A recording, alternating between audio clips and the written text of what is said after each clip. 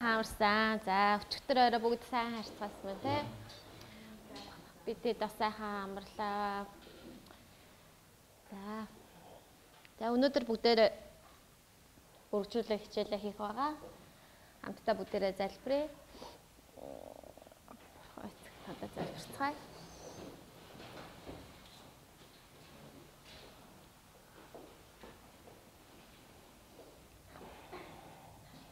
Хайрт бурхан аав минь ээ танда үнэхээр талархаж та бол магтаал болон хүндлэлийг авах зохистой нэгэн учраас та зөвхөн биднийг үнэхээр өөрийн сайн зорилгын дагуу хамгийн сайн эцэг гэдгээ баталж хамгийн сайн зорилгын дагуу бидэнд биднийг энэ газар цуглуулж бидний хүүхдүүдийг бас эрчимжүүлсэн сургалт руу дагуулж байгаа талархаж байна. Ариун сүнсээ та үнэхээр бурхан эцгийн хэлсэн тугаглагдсан амнаас гарсан үгсүүдийг батлахаар ариун сүнс та аль хэдийн эрчимтэйгээр ажилласаар байгаа илээ. Ариун сүнс та бол бидний сайн багш. Та биднийг дандаа ятгаж, та биднийг зөвлөж, чиглүүлж, та бидэнд ойлгуулж, та биднийг бас үнэхээр өөрийн тааламжтай тэр сайхан оршихуугаараа биднийг үнэхээр амрааж өгдөг.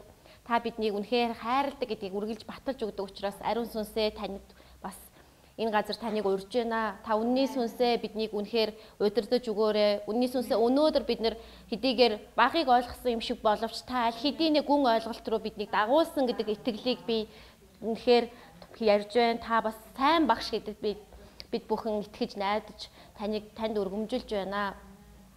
Энэ бүхэн бүгд хүүгийн алдрын төлөө билээ. Эзэн Есүс Христийн аль хэдийн хийсэн тэр алдрын төлөө та биднийг үнэхээр өөрийн хөвгүүд болгон түүнийг алдаршуулахын төлөө биднийг бас цуглуулсан байгаа илээ. Хүүхдүүд маань үнэхээр чин галах зүрх зүрх сэтгэлээр үнэхээр таныг таньж мэдхийг хүсэж байгаа. Тэр халуун зүрх сэтгэлийг та харахтаа таалж байгаа гэдэгт итгэж байна. Өнөөдрийн үргэлжлүүлж байгаа хурцлагдсан шилмэс сумдуудыг болно. Та нар хурцлагдсан шинэ сумдууд болно гэж хэлсэн үг үгийн дагуу бид суралцахад бэлэн байна амийн үгсийг та үнэхээр улам бүр амийг минь бэлхааж өгөөрэй, амиудыг та асааж өгөөрэй Есүс Христийн нэрээр гуйн залбирлаа. Амен. Амен. За. Бурхан эцэг аль хэдийн биднийг дуудсан байгаа. Дуудсаар байсан, дуутах ч болно, үргэлжлүүлэн дуудсаар байна. Учир нь бидний балчир гэж тэр өнөөдөр биднийг балчир болоогүй байна. Та нар болоогүй гэж юусаа хэлсэнгөө Тэр байтугай бидний сүнсний эцэг. Та нарыг та нар бол балчир хүүхдүүдээ өсвөр насны хүүхдүүдээ. Гэхдээ би та нарыг миний төвшөнд өөр миний ойлголтын төвшөнд бурхны хүссэн төвшин хүртэл бидний татах болно гэж хэлсэн байгаа. Тийм учраас би яг тэр ихтгэл дотор та бүхэндээ та нарыг ойлгох болов ойлгохгүй болов би сайн заах болов заахгүй болов гэхээсээ илүүгээр бидний эцэг Бурхантай уулзах болгонд бидний сүнсний хэмжүүр нэмэгдэж, Бурхантай уулзах болгонд бидний түүний алдрын баялагийг харж, Бурхантай уулзах бүрдээ бид нэр хамтдаа цуглаа түүнийг магтаж, түүний хэлсэн үгсүүдийг сонсох бүрдээ бидний итгэлийн хэмжүүр сүнсний багтаамж, бидний ойлголтууд зэгцэрж байдаг учраас Бурхан харин энэ өдрүүдэд энэ тааллын он жилүүдэд энэ хугацааг эрчимжүүлэхийг хүсэж байна. Энэ бол баяртай мэдээ. Энэ бол үнэхээр сайхан мэдээ юм аа. Тийм учраас тэр биднийг бурханд хүрэх арга замуудын тухай бурханд хүрэх гал халуун хүслүүдийг бид нарт өчигдөр ойлгуулж өгсөн байгаа. Энэ нь бид нар амьдралын загваруудыг харахад ягаад гэвэл ертөнцийн олон загвар байдаг. Өө тэр хүн шиг болмоор байна. Хүмүүс ертөнц бидэнд олон загваруудыг харуулж байгаа. Харин бидэнд бол дуудагдсан ганцхан мөшгөж байгаа загвар байгаа. Тэр бурхан тэр хамгийн дээд тэр дуудлагынхаа дагуу хамгийн дээд тэр загварыг хараасаа гэж хүссэн учраас амьдралын зөв хэв маяг гэж юу вэ гэдгийг тэр танилцуулж байна. Амьдралын зөв хэв маяг нь ямар ямар байдлаар илэрдэг вэ гэдгийг танилцуулж байна. Тэр хэв маяг бидний дунд бий болоосаа гэж тэр хүсэж байна. Тэгээд бас загваруудыг тэр харуулж байгаа юм аа. Амен. Амен. За амьдралын зөв хэв маяг болон загвар гэдэг хичээлийн 3 дугаар бүлэг нь болохоор итгэлийн өв гэдэг хичээл байгаа. Итгэлийн өв За итгэлийн өв гэдэг хичээл болохоор энэ ойлголтуудыг бид нэр энэ бол маш өргөн маш өргөн ойлголт өөрөө итгэл гэдэг бол хүний хамгийн тэр бүр ингээ амин голч зүйл гэдэг байхгүй юу? Хүний ам амьдралтай холбоотой зүйл итгэл дотор явагдчихэдэг байгаа. Тийм ээ? Тэгээ бурхан болохоор хамгийн дээд эрх мэдлийг тогтоогч нэг юм. Тэр хамгийн дээд эрх мэдлийг тогтоодог бөгөөд хүн төрлөختөндөө өөрийн хүмүүстэй хүн төрлөختөнд хамгийн дээд дуудлага болох Христийн тэмдгийг зүрхэндээ сүнсэндээ сийлүүлсэн Христийн тэмдгийг үнэхээр энэ бол миний хамгийн дээд дуудлага энэ хүн төрлөختөнд байдаг хамгийн дээд дуудлага гэж тэр дуудлагатаа хүрэх нэгнүүдийг дуудаж байгаа байхгүй дуудаж байгаа. Тэгэхээр тэр итгэлийн өвийг өөрөө эхлүүлдэг. Бурхан тэгээ хэлэхдээ миний амнаас гарсан миний үг хүслийг минь гүйтгэхгүйгээр илгээсэн зорилгыг минь хэрэгжүүлэхгүйгээр над руу хоосон буцаж ирдэггүй гэж Исая номын 55-ын 11 дээр хэлсэн байна. Бурхны амнаас гарсан үг хизээч түүний хүсэл зорилгыг биелүүлэхгүйгээр буцаж түүшээ ирдэггүй. Хүний амнаас хэлсэн үг өнөөдөр би өнөөдөр биелсэн юм шиг байх боловч маргааш нь биелэхгүй байх боломжтой. ертөнцийн хэлж байгаа үгсүүд ч гэсэндээ баталгаа байхгүй баталгаагүй гэдгийг бид нар өнөөдөр нийгмийг харах юм бол харж чадна. Нийгэм эдийн засгийн байдлыг харах юм бол харж чадна. Ямар ч хүчтэй удирдагчид ийм байх болно гэж хэлээд баталгаагүй гэдэг нь харагддаг. Бид нэр харин бурхан эцэг итгэлийн өвийг өөрөө ихлүүлэгч. Бурхан итгэлийг ихлүүлээд бурхан итгэлийг төгсгдөг. Тийм учраас Исая номын 55-ын 11 дээр хэлсэн шиг миний үг хизээч миний зорилгыг биелүүлэхгүйгээр над руу хизээч ирэхгүй Энэ бол бидэнд хэлэгдэж байгаа итгэлийн өв юм аа. За итгэлийн өв бол зүгээр итгэх юмсан аа бурхан тэгдэг гинэ гэл энэ зүгээр энгийн ойлголтоос эхэлж болно л да итгэх юмсан гэсэн хүслээс гэвч энэ итгэлийн өв гэдэг зүйл тодорхой тийм процессын үүднээс бүрэлддэг байгаа. Итгэлийг эхлүүлэгч бурхан Авраамыг итгэлийн өвөг гэж нэрлсэн тийм ээ. Авраамаа чи бол итгэлийн өвөг юм аа чамаар дамжуулж ерөөлийн үндэс бий болгоно гэж хэлсэн. Чи бол ерөөлийн үндсээ гэж хэлсэн байгаа. Тэгэхээр Бурхан а юу ч хэлсэн бэ гэхээр итгэлийн өв нь болохоор Бурханых нь өөрийнх нь хэлсэн үг нь ухрах араа байдаг байхгүй юу? Хэллээ, биелнэ. Библийг хараад цаашаа бид эхлэл номоос эхлээд Библиэр аялах тусмаа яг тэр бүхий л түүхүүд чинь бидэнд Бурханы итгэлийн итгэлийг бидэнд өгдөг байгаа. Үүнийг би бас өөрийн биеэрээ амсаж байна. Би яг асууж ирсэн баг. Бурхан аваа итгэлийг та эхлүүлдэг гэсэн. Бурхан итгэлийг зүрхэнд яаж би болгодог юм болоо? Би танаас итгэлийг авмаар байна. Хэрвээ чи итгэлгүй бол Бурханаас итгэлийг аваа гэж би нэг удаа сонсч байсан байхгүй номлолоос. Тэгээд би асуусан. Танаас ирэх итгэл гэж би яаж хүлээж авах юм бэ? Яа, болон болон гайхамшигтай зүйлсүүдэд итгэж байгаа. Гэхдээ л яг тодорхой тэр үг биелж байгаа тэр итгэлийг би яаж олж ирэх бурхны итгэл гэж ямар юм байд юм болоо гэж асууж ирсэн байгаа. Харин бурхан өөрийн итгэлийг бүхий л эхлэлээс ахуулаад эхлэл номноос ахуулаад бүхий л процесс, бүхий л түүхэн үйл явц, бүхий л амлаад биелсэн биелэлт болгон дээр бурхан ятгах нь, бурхан харуулна, баталдаг. Итгэл нь бурхны итгэл бол түүний үгэн дотор байгаа. Түүний түүхэн дотор байгаа. Түүний амьд байгаагаар гэрчлэгддэг юм байна гэж би хувьдаа ойлгосон байгаа. А за харин бурхан итгэлийн өвийг бий болгодог тийм процесс байгаа. Нэгдүгээрт бурхан ярьдаг. Амен. Дагаа хэлье. Бурхан ярьдаг. Бурхан айлтдаг байхгүй. Бурхан зүгээр ингээ суугаал гэдэггүй. Бурхан үгээ ярьдаг. Тэр айлтдаг. Тэр үгээрээ бүхний бүтээдэг. Бурханы амнаас үг гарахтаа хэдийн мөнхийн усад биелчихсэн зүйлсүүд байдаг байхгүй. Ойлгож байна уу? Биднэрт ямар цаг хугацааны орон зайны тийм хэмжүүр байдаг лээ? Өнгөрсөн.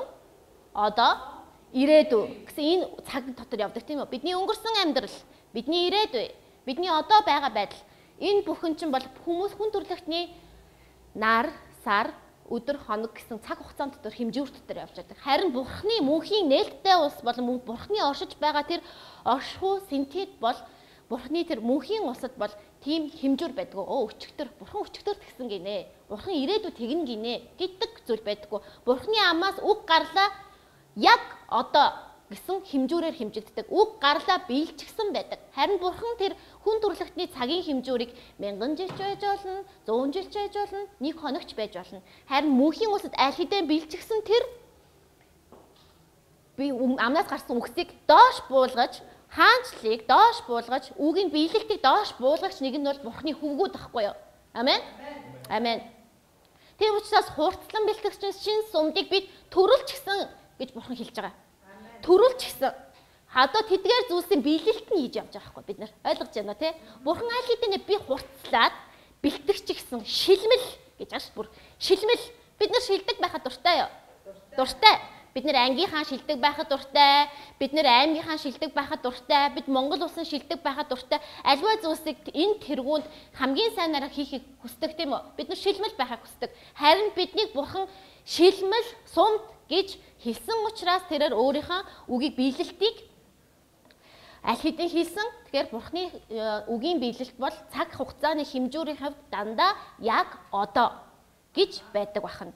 Хоёрдугаар Бурхан өөрийнхөө нэр хийгээд мөн чанараараа өөрийнхөө үгийн амлалтыг баталж бөгөөд биелүүлдэг. Бурхан өөрийн нэрээ өөрийн мөн чанараараа хэлсэн үгээрээ баталдаг байхгүй юу? Ойлгож байна уу те? Түүний нэрээр Авраам тэр хэлсэн байгаа. Би өөрөөсөө агуу надаас агуу нэгэн байхгүй учраас би өөрөөрөө тангаргалээ. Би өөрөөрөө амдгаалъя. Бурхан яагаад үгээ хэлээд түрийг амдгаалч хийгээд тангаргалдаг гэхээрээ түүнд найдсан нэгэнд, түүнд итгэсэн нэгэнд, түүнийг үгийг итгэсэн нэгэнд баталгаа болохын тулд нэгдүгээр тэрээр амдгаалсан байгаа. Өөрөөрөө. Бурхан өөрийнхөө өөрөөрөө тэр зүйлийг үгийг амдгаалсан бөгөөд тэр амлсан бурхны амлсан амлалтыг нь өвлөгчдөд баталгаа болохын тулд тэрээр өөрийнхөө нэрээр амлсан байдаг байгаа. Бурхан бол бүх нэрүүдийн дээр байгаа. Бүх түүний нэр бол бүх нэрсийн дээр байгаа. Хамгийн алдартай нэгний дээр байгаа. Хамгийн алдарт улсын дээр бурхны нэр оршдог байгаа. Тийм учраас бурхан өөрийн нэрээрээ амлдаг бөгөөд бас мөн чанараараа түүний мөн чанар болгон түүний бурхны мөн чанар болгон түүний хайр нь бурхны инэрл нь бурхны нэгүсэл нь бурхны шудраг байдал нь бурхны үнэн байдал нь бурхны уур хилэн хүртэл мөн чанар хэсэг тус бүр нь өөрийнхөө үгийнхэн амлалтыг биелэлтийг гүйцэтгэлийг баталж өгдөг байхад. Тэгэхээр бурхан айлцсан гэдэг нь нэгдүгээрт яг одоо бэлчгсэн зүйлсийн тухай ярьдаг. Хоёрдугаарт бурхан өөрийн нэрээрээ мөн чанараараа тэр үгийг баталдаг байхад Ингэснээр альва зөрчил маргалдаанд цэг тавьж өгдөг. Энэ бол бидэнд байдаг үтгэлийн үеийн суур нагаа. Бурханы үг баталгааг батлахын тулд бид нэр одоо маргалдан гэхээс өөр бидний зүрх сэтгэл дотор тэр итгэлийн зүйлсүүд нь одоо механизмд нь ажиллаж эхэлж байгаа байхгүй юу? За үүний тулд бурхан бол айлт юм байна. Түүний үг бол үнэхээр биелдэг юм байна гэж бид нар мэдэх хэрэгтэй. Хоёрдугаарт нь болохоор тэр үг ирлээ би итгэдэг. Ойлгож байна те? Бурхан айлдаад хамаарлан шууд би итгэдэг. За би яагаад би итгэдэг гэхээр хэрвээ бурхан хэлсэн л юм бол бид бүхэн түүнийг хүлээн зөвшөөрч итгэлээ итгэлээрээ тэрнийг найдах болно. Тэгэхээр өнөөдөр бидэнд бурхнаас өгөгдсөн үгсүүдийг итгэл бөгөөд найдварын тэр үйл ажиллагаанууд эхэлж байгаа он жилүүд хүүхдүүдээ ойлгож байна тий. За тэгээд Бурхан өөрийн хэлсэн үгээ биежүүлэн байгуулах бөгөөд харин бид өгөгдсөн үгэнд нь итгэх ёстой байгаа. Таны надад найдвар болгон өгсөн үг нь өөрийн зарцсан хандсан үгийг та санаач ээ.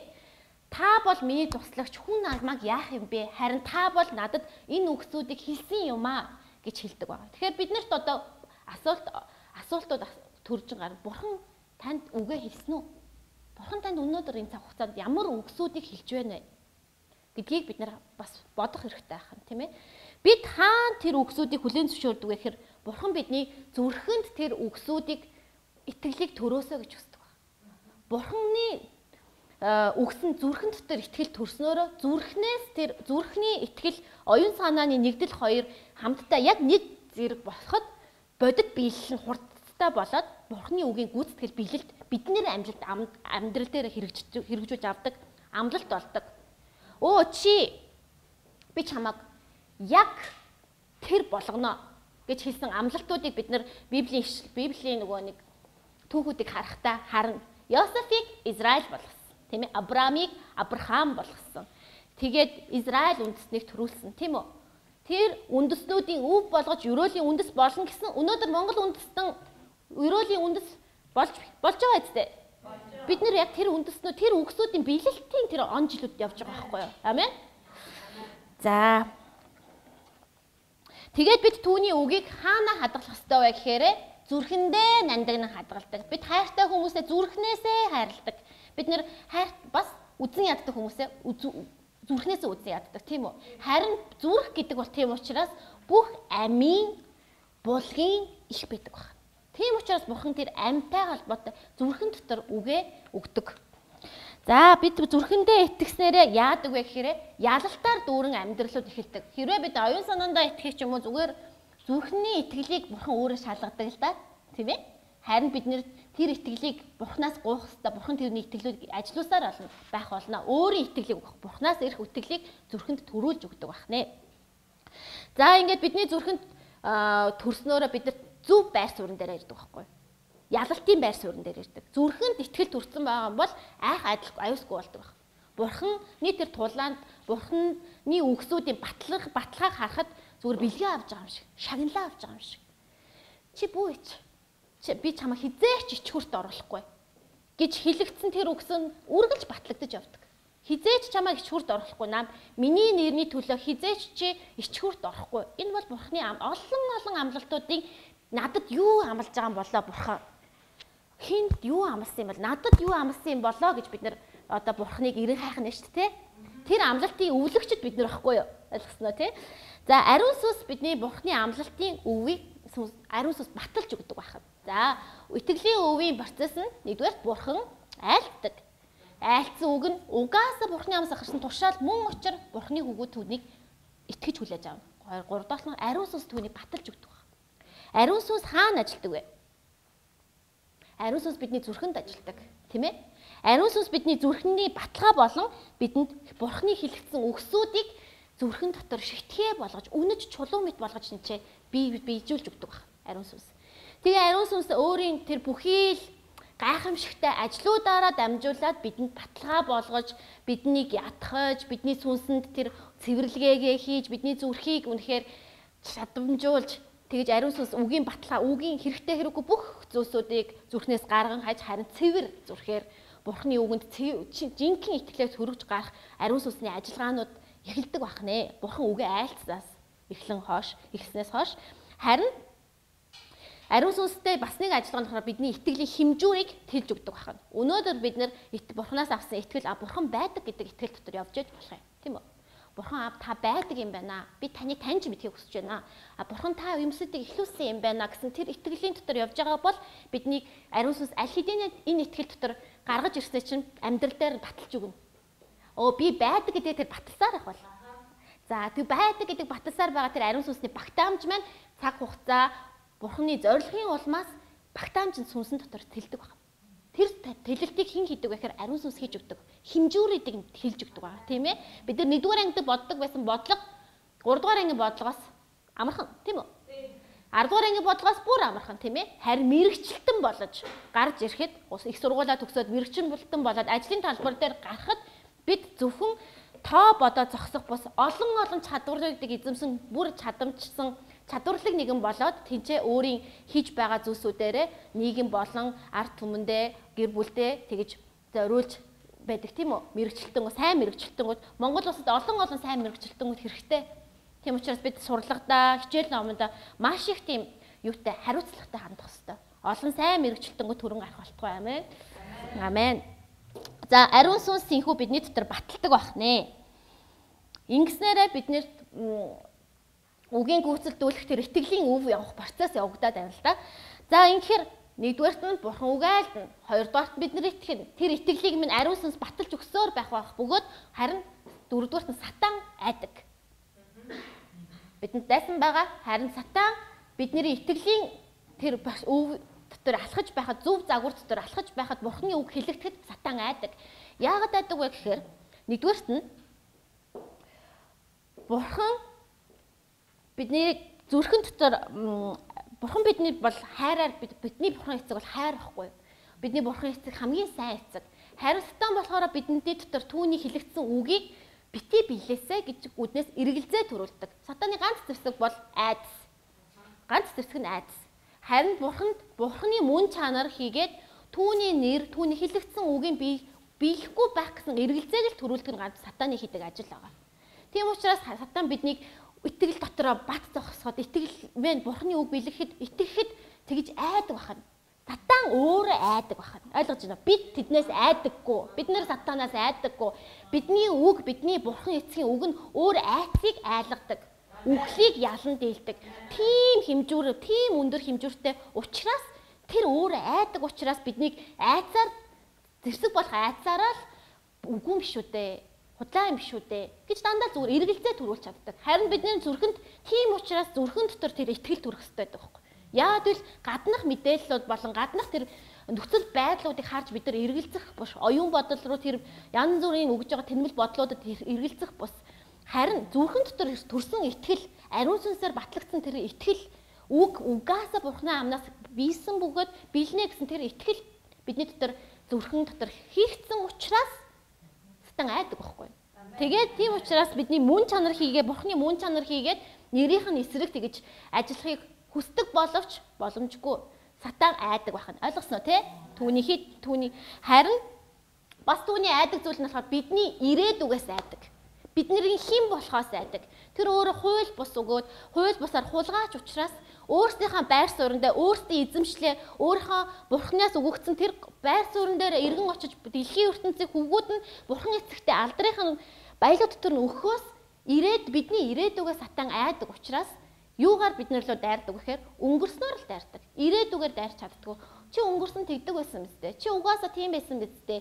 Тийм штэ, ийм штэ гэж дандаа өнгөрсөн мэдээллүүдээр биднэрлүү дайрахыг оролддог байхгүй. Ингэснээр яг зүгээр ирээдүйн тэр сайн сайхан ирээдүйн алдар, ирээдүйн амлалт бидний хурж очих зүйлээс биднээс хойш сангаахыг хүсдэг.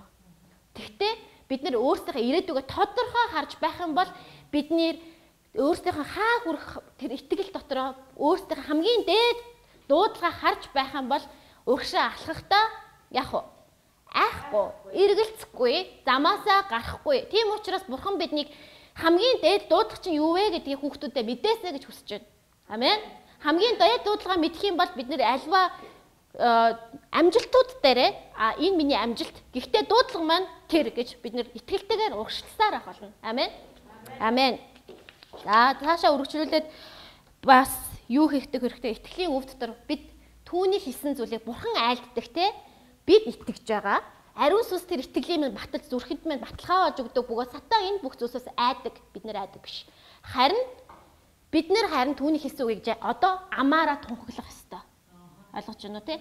Зүрхэндээ итгээд чи түүнийг амаараа тунхаглах юм бол энэ дотор итгэлийн өвийн процесс явагдаад байгаа байхгүй. Амен. За бид амаараа бурхны үгийг тунхагладаг байгаа. Ингэснээр амаараа тунхаглахад ямар э, юу болдог вэ гэхээр байр суурьаа илэрхийлж байгаа юу? Ойлгож байна? Айл хэдийн зүрхэнд итгэж болцсон. Айл бид байр суурьаа илэрхийлж байгаа. Байр суурьаа илэрхийлэгдэнэ гэдэг чинь хүн байр суурин дээр байна тийм үү? Эцэг хүн эцэгийнхаа байр суурин дээр байна. Их хүн эхийнхаа байр суурин дээр байна. Хүүхэд хүүхдийнхаа байр суурин дээр байна. Альва бүх юм би бурхны хүүхэд гэсэн байр суурин дараа байна. Энэ бүх эмх зэгцэнд орж байгаа байр суурь гэдэг чинь өөрөө ялалтын бат бих хан хэрэм баггүй. Маш ялалтын тэр өндөрлөг газар баггүй. Ойлгож байна уу те? Бурханд хэм учраас хотын сүмийнхнийг байр суурин дээр нь аваачсан байхгүй. Хамгийн өөрийнхөө байх ёстой хувь тавиланд нь аваачиж байгаа. Тийм учраас бид өөрсдийн байр сууриа илэрхийлж байна гэдэг чинь амаараа тунхаглахыг хэлж байгаа. Залбирал бол юу гэсэн бэлээ? Бурхантай уулзах мó? Бурхантай уулз. Харин залбирал хийхдээ бид нар яах ёстой байх вэ? Тунхагласаар ах болно, тийм үү? Оюун санаанд бодлуудыг янз бүрийн бодлоо төрөхөд бурхны амнаас гарсан үгсүүдийг тунхагласаар авах болно. Ингэхдээ зүрхэн дотор бидний итгэл ажилласаар ах нэ. Бас бид нар амаараа тунхагснараа бурхан бид Адам Ева хоёрт эдэн цэцэрлэгийг барьж байгуулж өгсөн тийм үү? Хүн болгон бидэнд эдэн цэцэрлэг байгаа тийм ээ? Хүүхэд болгонд бид бүхний хүн болгоны амьдралд бурхны байгуулах хүссэн эдэн цэцэрлэг байгаа. Бурхны байгуулахыг хүссэн амьдрал гэж байгаа. Тэр ам амьдрал дотор бид нар амаараа тунхагснараа аа би болгож идэг. Яг л өөрөө бурхны юмсыг би болгодог байхгүй юу? Тэгэхээр би ямар амьдралыг бурхантай хамт бий болгох вэ гэдгээ бурхны мөн чанарыг тээж байгаа бурхныг таних тусмаа бид нар түүний хүсэж байгаа мөн чанарын дагуу амьдралыг бий болгож эхэлнэ бурхантай хамт. Түүнийг тийм учраас бид амаараа ярих хэрэгтэй. Би тийм байх болноо. Би хувь тавилангийн шилмэс сум юм аа. Миний амьдрал Бурхны сайн сайхнаар үргэлж дүүрэн байх болно. Миний амьдрал Бурхны ялалтуудаар дүүрэн байх болно. Миний амьдрал бүрэн бүтэн эдгэрлүү дүүрэн байх болно. Миний явсан газар болон амжилт намайг даах болно. Миний явсан газар болон Бурхны үгсүүд биелэх болно. Миний явсан газар болон Бурхан өөрийн хаанчлаа тэлэх болно. Олон олон Бурхнаас авсан амлалтын үгсүүдийг бид нэр цааш цаашдаа сонсох бөгөөд биднийх болох бөгөөд тэдгээрийг бид нар амаараа тунгаглах ёстой. Амен. За тэгээд бид нар амаараа тунхагснаар цаашаа юу болдог вэ? Газар тэр үгэнд нь хариулдаг. Ягаад гэвэл энэ дэлхийн ертөнцийгээ түүний бүтээж байгаа бүх зүйлсүүд бурхных. Эзэмшигч нь гарч ирсэн байна. Эзэмшигч нь үгээ хэлсэн бол эзэмшлүүд нь яах вэ? Үгэнд нь орно. Тэгэхээр газар дэлхий бүх зүйлсүүд сайнтай муутайгаа бүх зүйлсүүд нь бурхны үгийн гүйцэтгэлийн төлөө газар дэлхийг хариултуудаа өгч эхэлнэ. Ойлгож байна уу? Тэр жишээнүүд ч гэсэн зөндөө байдаг. Бурхны хүмүүс бороо бити ор гэж хэлэхэд орж ирсэн. Ороог. Тэгээ одоо одоо орох хөстө болно. Орж ирсэн. Гэх мэтчлэнгийн олон олон Есүс инжирийн бодонд чи бити жим сургуул. Чамаас бүү үр жим сурах гэхэд маргаашныхоо татчихсэн. Гэх олон олон библийн одоо гайхамшигүүдээ бид нэр юр бусын тэр амьдрал руу хамтдаа алхаж байгаа хүмүүс тийм ээ. Тэр юр бусын тэр амьдралын дотор бурхны итгэл тэндээс ярина. Тэр библи чи өөрөө урдаас ч бүгдийг ингээ яриад өгч. Тэгэхээр яг тэр газар дэлхийн хүүх бурхны үгэнд хэрхэн хариулж байгааг та нар харах унших болгондоо олж хараарай. Заяа.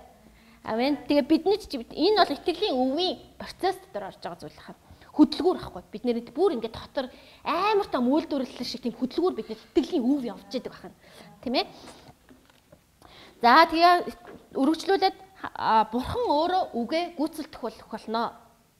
Бурхан өөрөө үгээ гүйцэлдүүлэх болно гэд итгэл. Яагаад гэвэл бид итгэлтэйгээр тэр байх ёстой байрандаа зогссон бурхан өөрийн үгээ хэлсэн гад тэнгэр болон газар хамтдаа нэг игнэнд очиж байгаа Тийм учраас тэр бүхэн бурхан өөрөө тэр гүйцэтгэлийнхаа баталгаа болгоод үгээ айлцсан бол гүйцэлдүүлнэ.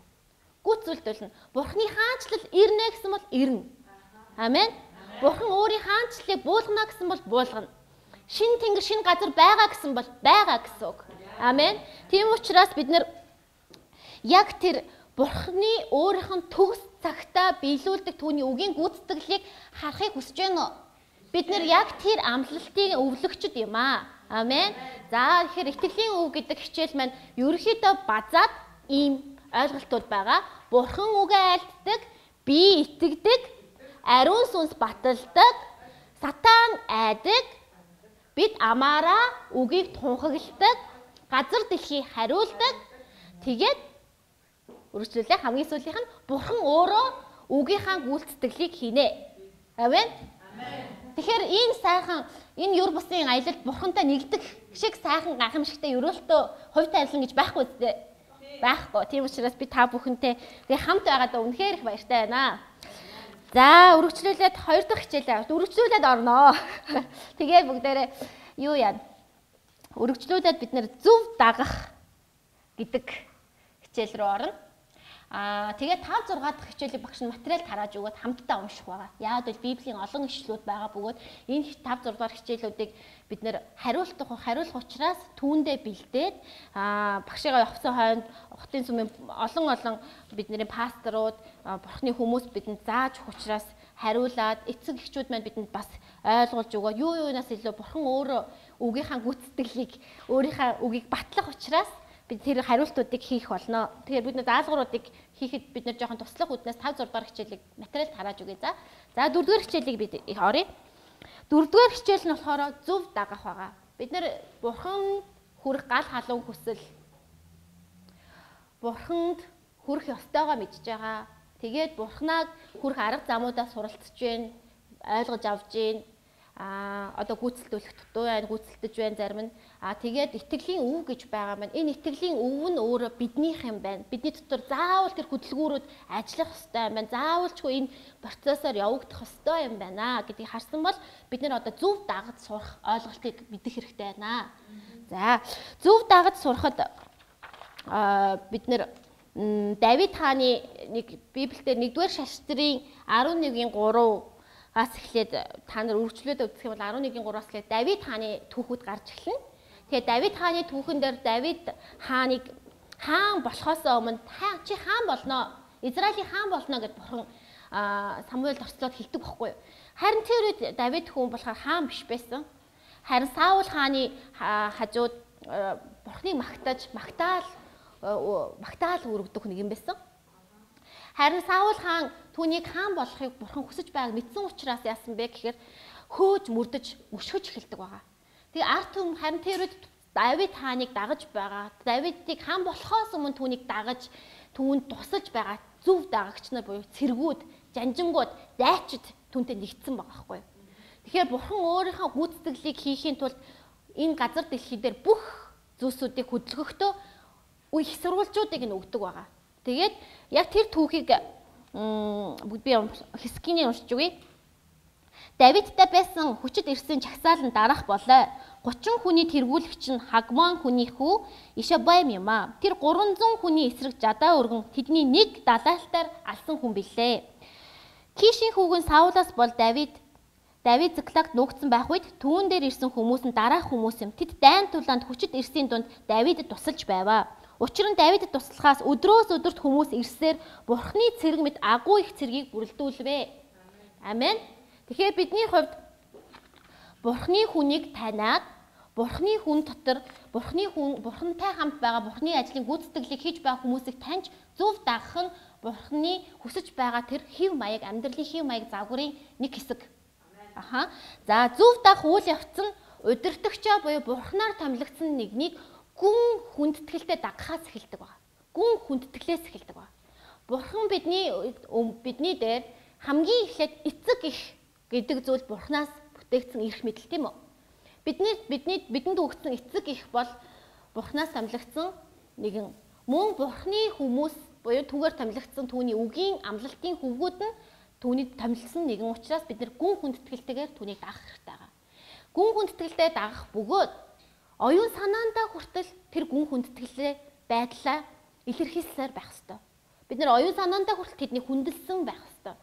Бидний эцгүүд ямар ажлуудыг хийж ямар бидний хувьд зүгээр эцэг их мэн байж болно. Харин бурхны хувьд тэр бурхны олон ажлуудыг хийх, бурхны олон амлалтын биелэлтийг хийх түүний сонгосон хүн учраас бид тэдэнтэй зүгээр жирийн тэгж үл хүндэтгэлтэй харьцахыг бурхан зөвшөөрөхгүй байна.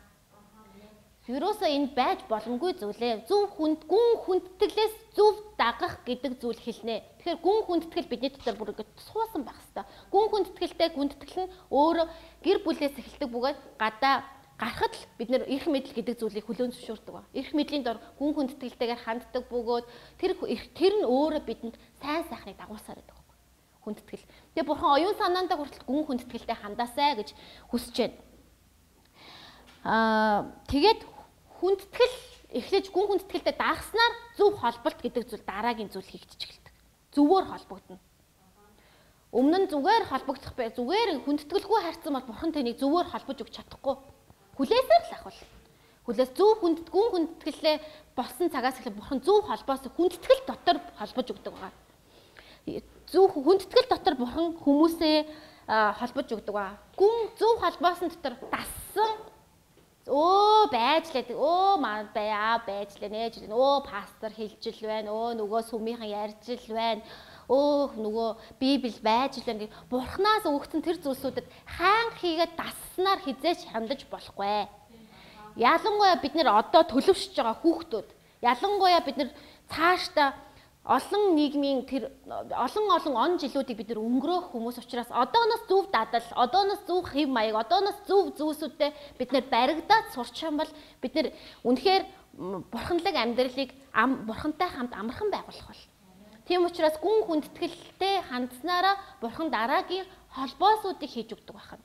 Тийм учраас бидний бити хайнг дассан оо байдаг л нэгэн гэж бити хараасаа гэж хүсэж байна. Амен дасал болсон тэр ямар нэгэн шинж тэмдэг илэрч байх юм бол түндэ бид нар анализ хийх ёстой цаг нь иржээ. За түүний дараагаар бид нар зөв дагахад бид нэр удирдахчаа таньсан тийм үү? Удирдахчаа дагж байгаа те. Гүн хүндэтгэл дотор зааваа дагаад ингээд тэднийг тэдний хэлсэн үгсүүдэд өөртөө зориулаад ингэ юм байна, юм байна гэд ойлгоо явж байтал бурханы хүмүүс чинь бурхнаас авж байгаа тухайн цаг мөчөд авж байгаа үгсүүдийг хэлдэг байхгүй юу? За жишээлбэл үүнийг би жишээн дээр хэлэх юм бол Есүсийг дагаад явж исэн олон мянган хүмүүс байсан. Яг Есүсийн Бурханаас өгөгдсөн 12 дагалдагчд байсан. Тэгээд тэд нар Бурхны хаанчлыг тунхаглаад, Бурхны хүмүүс, Бурхны үгсийг тунхаглаад яг л биднээс Бурхнаас өгсөн загварын дагуу тийм ээ үгсээ авлаа, газар дэлхийд хийх ажлаа гүйцэтгээд Бурхны үгийг амаараа тунхаглаад хариулаад Израиль хэр үндэстэн тэднийг дагаад хариулаа явж хат олон мянган хүмүүс үлсдэг байхгүй юу? Олон мянган хүмүүс 2 3 өдрийн сургалтанд суудаг байхгүй тэд нар. Яагаад вэ? Есүс амар өндөр уулны иргэнд нэлээ өндөр даван дээр суугаад Бурхны үг хаанчлалын тухай ярих, ирэх өдрүүдэд юу болохыг ярих, Бурхан анхнаасаа хүн төрлөختөн хийгээд Израиль үндэстнийг яаж гаргасан хийгээд одоо Бурхан энэ цаг мөчид тэднийг юу гэж байна гэж хувь тавилангаа ярьж ирсэн байгаа. Тэгсэн чинь олон мянган хүмүүс 2 3 цаг өдрөө дагаад явсан хүүхдүүд байсан, хүүхд жоохон хүүхдүүд байсан. Тэд нар тэгээд өсөөд цангаж эхэлдэг байхгүй юу?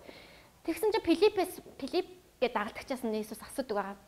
Аа Филипп хэлдэг байгаа. Филипп дотгоогч би хэлэх нь дээ. Хүүшээ. Энэ хүүхдүүд өсөөд байна гэдэг чи юу те. Яна олон мянган хүмүүс одоо өсөөд байна. Буцаагаад хараагаад хоолундаа идээд жоохон тэнхрээд ирээ гэх үү. Танаас юу таныг яриад байгаа даахгүй салаад салахгүй нэ энэ чинь дагаад байна гэдэг байхгүй юу. Тэгсэн Филиппээс асуудаг байгаа. Чамд ямар арга байна вэ? гэж хэлдэг байгаа. Бидэнд юу байна вэ гэж асуудаг байгаа бидэнд 2 загас 5 талхал байна гэж хэлдэг ба. Одоо тэгэхээр харин мөнгөний хувьд бас мөнгө бас хөрөлцөхгүй нэ. Бидэнд байгаа зүйл ийм өчүүхэн байна. Харин тэнцээ байгаа хүн 3000 эрчүүд тэгээд маш олон эмэгтэйчүүд хүүхдүүд байна. Хооллох боломжгүй гэдэг ба.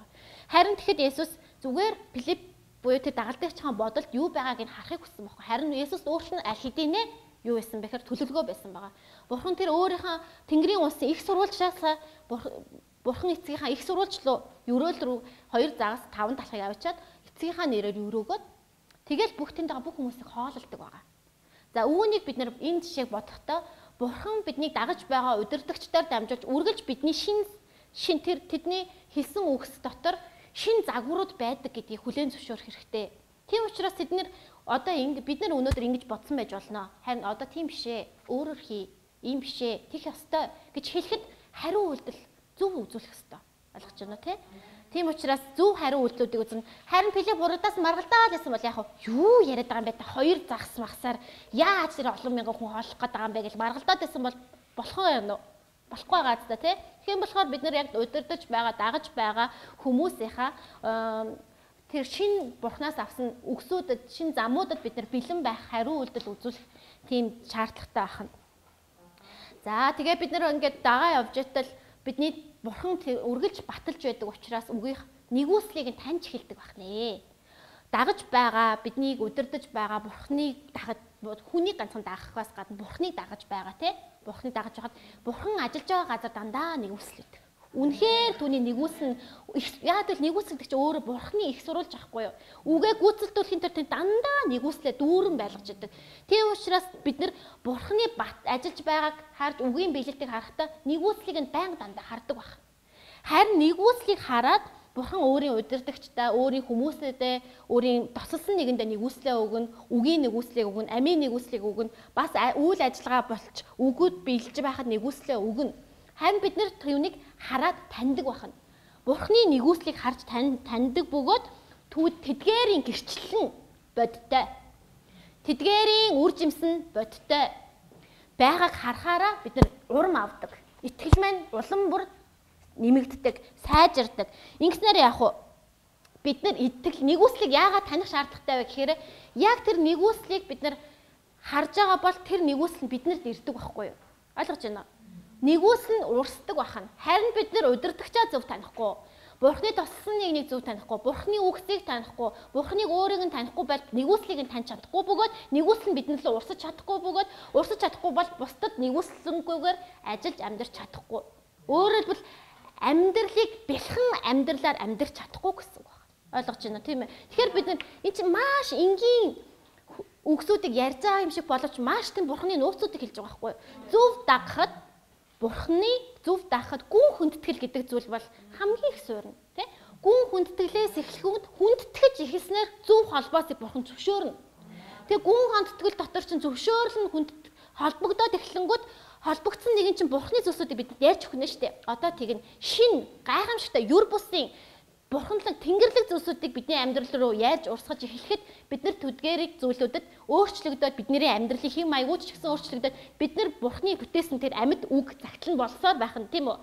Ингэснээр бид нар нэгүслүүдийг харж эхэлдэг байхгүй. Бурхны нэгүсэл нь яг юу юм бэ? ертөнд ч гэсэндээ маш их тийм зүйлсүүдийг амалдаг шүү хүмүүс рүү. Хүмүүс алдрыг амалдаг, айгүй олон зүйлийг амалдаг. ертөнцийн алдар, бурхны алдрыг бид нэр ялгана. Бидний дотор байгаа сүнс ялгана. Тийм учраас нэгүслийг таньснараа нэгүслийг бид нар зөв холбогдсон хүмүүс нь нэгүсэл нь урсна гардаг байхгүй. Тийм болохоор энэ хүндэтгэл гэдэг зүйл чинь тэр нэгүслийг хүлээн авах тэр маш тийм нандин зүйл ахын байна тийм ээ. Тэгээд бурхан өөрийнхөө үр жимстэй үгээ нотолж байгаараа тэр нэгүсэл гэдэг зүйлийг нэгүслээ бид нэр цааш алхах ирээдүйдээ хүрэх бурхнаас өгсөн даалгавраа биелүүлэх нэгүсэл эслийг таньж эхэлдэг бахнэ. За ингээд бид нар нэгүслэлэнгүү нэгүслэр дүүр нэгэн болоход бид нар өөрсдийн байр суурин дотроо даалгавруудыг хүлээж авдаг баг. Бурхны даалгаврын төлөөлөл болдог байна. Бурхны хийж байгаа ажиллагааных нь нэг хэсэг болдог байна. Бурханлаг амьдралынхан амьдралын загвар болон гарч ирдэг байна. Тэ? Дараалууд нь ингэж явдаг. Тэгээд бид нар үйлдэх болон хэлэхэд юмс бүтдэг тэр эрх мэдэл дээр очдог байхгүй. Амен. Амен процесс нь тэгж явагдаж байна тийм ээ. Тэгээд үйлдэх эрх эрхийг хүлээн авдаг гэж ярьж байгаа. Ингээд эрх мэдэл нь өгөгдлөө өөрийн тодорхой зөв байр суурин дээр гарч ирлээ. Өөрсдийгөө бурхны төлөөлөл болон гарч ирэхэд бурхан одоо энэ бол миний загвар юм аа. Энэ бол одоо энэ үеийнхэнд энэ он жилүүдэд энэ Монгол улсад миний хийхийг хүссэн ажиллагаануудын загвар болон гарч ирж байгаа хүүхдүүд байна. Яг тэдний хэлсний дагуу болно. Яг явчир нь түүний хэлсэн тэр өөрийн байр суурин дээр гарч ирсэн байна. Тэр яг намайг төлөөлж байна. Загвар байна. Түн шиг болох хэрэгтэй гэж бурхан бидний талд байгаа. Мөнхийн ус бидний талд байгаа. Бурханы тэнгэрлэгчүүд бидний талд байгаа. Газар дэлхийг хариулж ирж байгаа. Өөрөөр хэлбэл яг тэгтээ дараагийн хичээл маань одоо энэ дээр суур ойлголтуудыг өгж байгаа боловч бурхан эхний ээлжинд нөгөө нэг яг энэ ойлголтуудыг ойлголт чигээр нь өгөхийг хүссэн гэж би бодож байгаа. Харин үүнийг яг өөрийнхөө хэлбэр, өөрийнхөө хүсэж байгаа хүн болгоныхын хувь тавиланхын хувь цар хүрээгийн тодорхойлж өгөх нь дараагийн хичээл дээр байгаа байхгүй юу? Дараагийн хичээл дээр тэгэхээр одоохондоо ерөнхий юм мөртлөнгөөс гол зүйлсүүдийг танилцуулга явагдчихна. Буюу эхлэл аль хэдийн эхэлсэн зүйлс дээр нэмэгдэж байгаа. Ойлгож байна уу те? Тэгэхээр ингээд ингээд ингээд яваад байна гэж битээ ойлгоорой. Аха битий тэгж бодоорой. Ингээд бид нар тэр амийнх нь бурхнаас өгөгдсөн мөнх амийн хийгээд энэ мөнх амийн хийгээд амьдарч байхдаа бэлхэм амийнх нь загвар болон үржигдэж гарч ирдэг. За бэлхэм аймгингууд амар тийм тийм тийм тасарсан ойлголт бол биш байхгүй юу? Хүн зүгээр л гэр орондоо амар тайван байх, тий? Ажил сургуультай амжилттай байх Тэгэл ер нь баяр хөөрөөр дүүрэн байх. Тэгэл найз зүгтдөө хүндлэлтэй байх. Альва зүйлсүүдэд маш тийм хариуцлагатай, гүйцэтгэлтэй тийм нэг тийм дагаал аймаар хажууд нь байгаа л аймаар нэг тийм сайхан хүмүүс байдаг штэ тий. Тийм гих зүг энгийн сайхан харахад ямар сайхан альвэ? Йоо ингэж хүмүүс амьдруулыг ингэж л амьдрах хэрэгтэй ах та. гэж амьдрдаг хүмүүс ахт Ингэж л ерөөсөө амьдрахгүй шүү. Энэ шиг л болохгүй шүү. Ерөөсөө ингэж хүн болчоод ингэж амьдрал юу гэх вэ? Баг төрөөгөн дээр гэж амьдрэх хүмүүс байдаг шүү, тэ. Бид нар одоо амьдрал бид нар жоохон хүмүүс биш. Хараад ертөнцийн нийгэмдэр болж байгаа зүйлсүүдийг хараад ялгаж байгаа шүү, тийм үү? Яг түүн шиг бурхны нэгүслэр бид нар загвар болгон амийг нь үржүүлж түүний амьд цагтл болж ялангуяа биднийг удирдах биднийг дагуулж, биднийг өсгөж, биднийг төлөвшүүлж, биднийг бас бурхан руу хөтөлж байгаа тэр хүмүүсийн амьд цагтл, тэр хүмүүсийн үг хэлэгдсэн амьд бодит илрэл болж байгаа хүмүүс нь болохоор бид нар байхгүй юу? Бурхны үгсийг энэ тунхаглагдлаа. Бурхны үгс баталгаагаа харахад бурхан бол мэдж байгаа. Харин ертөнц бурхны үгсийн баталгааг ханаас харахыг хүсдэг гэхээр биднээс хардаг байхгүй юу? Бид нарыг хардаг. Тэгэл аа нөгөө амьд үг нь явж байна. Оо батал. Оо бурхан итгэмжтэй гэдээсэн. Аа гэж бурхан итгэмжтэй гэдэг тэд нар мэдэхгүй байж болно. Харин өө мөнх алдар амар итгэмжтэй. Мөнх амьс үнэхээр итгэмжтэй. Мөнх чинь үнэхээр итгэмжтэй. Ануу чинь үнэхээр итгэмжтэй. Исэн үнэхээр итгэмжтэй гэж тэр итгэмжтэй байдлыг харахтаа бурханы итгэмжтэй байдлыг хардаг байхгүй. Тэ? Бидний альва зүйл бүгд л ингээд сандрал яана гэж яхад бид нэр бурхнаас аль хэдийн битгий санаа зов битгий би чамтай хамт байгаа гэсэн амлалтын дотор алхаж байхад бид нар юунаас ч айхгүй байгаа тэр айцгүй байдал амар тайван чинь илрэл болгон гараад ирдэг. Тэгээд амар тайван дотор байж хахад бидний амар тайвнаас эргэн тойрны хүүхдүүд маань найз нөхөд маань уудаг байна. Тэргүүл битгий бэцэг өгчүүд маань хүртэл уудаг байна. Амен. Ингэж бурхны ам болон бид нар үржигддэг байхгүй. Учир нь өөрөө бурхан өөрөө амийн эхлэл. Биднийг бурхан дэлхийн ертөнцийн амьдарч байгааг мэдж байгаа. Тийм үстэй. Бурхан бидэнд дэлхийн ертөнцийн юу болж байгааг ч мэдж байгаа бөгөөд энэ дэлхийн ертөнцийн амьдрахад бидэнд амьтай бөгөөд бэлхэн амьтай бурханы амлсан амлалтын дагуу сайн сайхан амьдрахад юу хэрэгтэйг тэр мэдж байгаа байхгүй. Тийм учраас тэр их сурвалжинд болдог, нэгүсэл нь болдог. Нэгүсэл цулах цутгаж байгаа газар руу бид нар хоп гээл очдог. Нэгүслээ таньдаг байгаа хэрэг өөртөө тэндээс нуугаад бид нар өөртөө нэгүсэл болон гарч ирэх хэрэгтэй. Тийм ээ? Тэгээд бид нар өөртөө тэр амийн бодит амьд цагтл болон гарч ирэх. Энийг бурхан биднийг э, хүсэж байгаа. Зөв дагахын илрэл бол гэж харж байгаа. За үржлүүлээд биднийг сэтгэлийг сэргээж би биений бүр сэтгэлийг нь бүр сэргээж өдөөж асааж өгдөг нэгэн байхыг биднээс хүсдэг байхan бурхан. Үүнийг зөв дагахдаг гэж хэлдэг.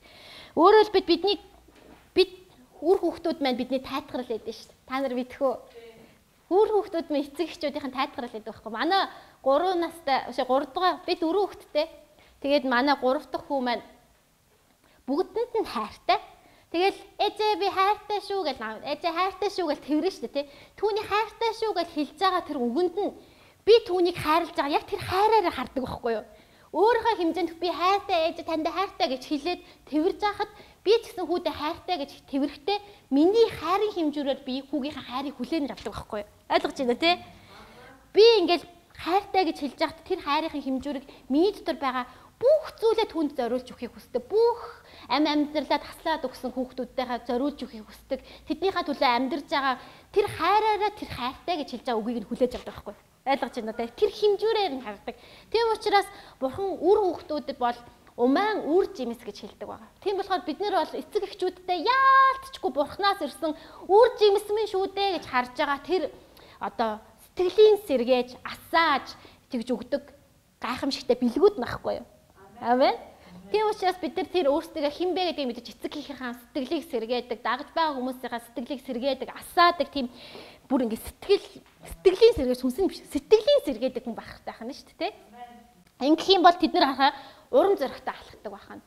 Урам зоригтой, урам зоригтой бадрангуй байж дараагийн төвшөндөө харахтаа хүртэл үр хүүхдүүдээс хүчийг авдаг. Тийм үстэй. Эцэг эхчүүд бол яг тийм энэ хүүхдийн төлөө би амьдрах болно. Энэ хүүхдүүдтэйгээ би юм хийх болно гэж хэлдэг шиг бидний сүнсний эцгүүд ч гэсэндээ хин сүнснээ сүнсээр төрсдгийг мэдж байгаа. Тийм хин сүнсээр хин үгээр төрснийг мэдж бурхан хүртэл мэдж байгаа учраас бид нар бурханы сэтгэлийг сэргээдэг байхгүй. Бид нар сүнсний эцгүүдийн сэтгэлийг сэргээдэг байхгүй.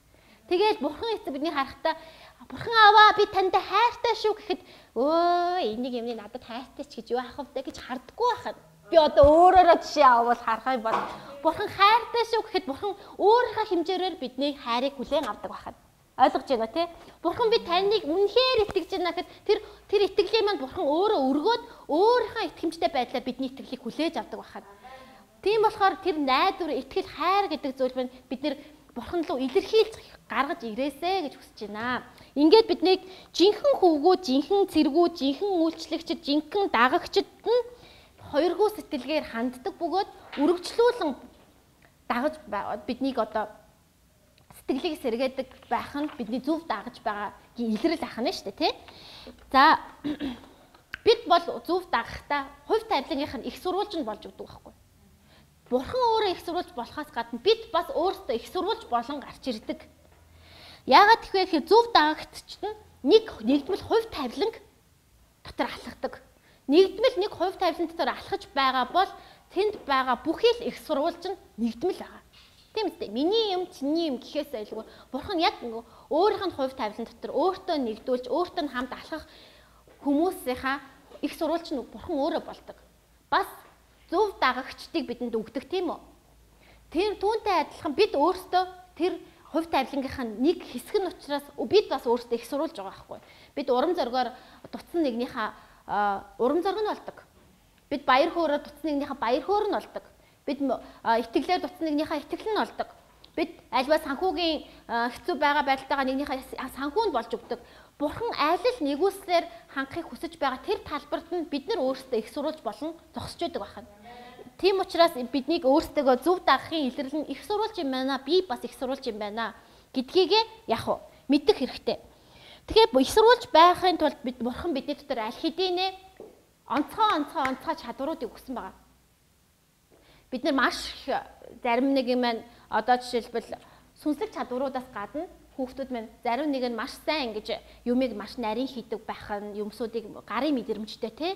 Зарим нэг нь болохоор үг яриаг маш сайн ярьж чаддаг хилтэх урлаг чадвартай байж болно. Зарим нь юмсуудыг маш гэрхаа ажиглаж, юмсуудын очир начрыг хурдан ойлгодог байж болно. Зарим маш итгэмжтэй үйлчлдэг байж болно. Олон зарим нь сайхан дуулдаг байж болно. Зарим нь сайхан хөгжмийн авьяастай байж болно. Ямар л авьяас чадвар бүх зүйл бурхан их нас өгсөн их сурвалжийнхаа дагуу бидэнд өгддөг байхгүй. Үүнийгээ биднийг өнгөлөөсэй гэж хүсдэг бурхан улам бүр дасгалжуулж, улам бүр аривжуулж, улам бүр бүр ингээ өөрсдөө минь бүр ингээ чадварлаг нэгэн болгоосоо гэж хүсдэг. Анхнаасаа дасгал сургуульд бол үүнд байнга хэрэг болдог байна.